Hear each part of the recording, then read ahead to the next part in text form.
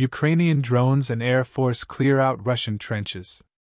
In the presented video frames, drone footage shows Ukrainian quadcopter drone targeting Russian troops inside their trenches and dropping very accurate grenades right inside the trenches.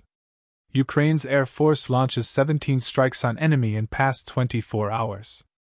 Ukrainian defenders repelled 59 enemy attacks in the past 24 hours, with Russian forces concentrating their offensive action in the Lyman, Bakhmut, Avdiivka, Marinka, and Shakhtarsk areas. The General Staff of the Armed Forces of Ukraine said this in a situation update early on Saturday, March 25, Ukrinform reports. The enemy is concentrating its main efforts on conducting offensive operations in the Lyman, Bakhmut, Avdiivka, Marinka, and Shakhtarsk areas. Our defenders repelled 59 enemy attacks there. In the last day, Ukrainian combat aircraft launched 17 strikes on areas where the occupiers were concentrated. The update said.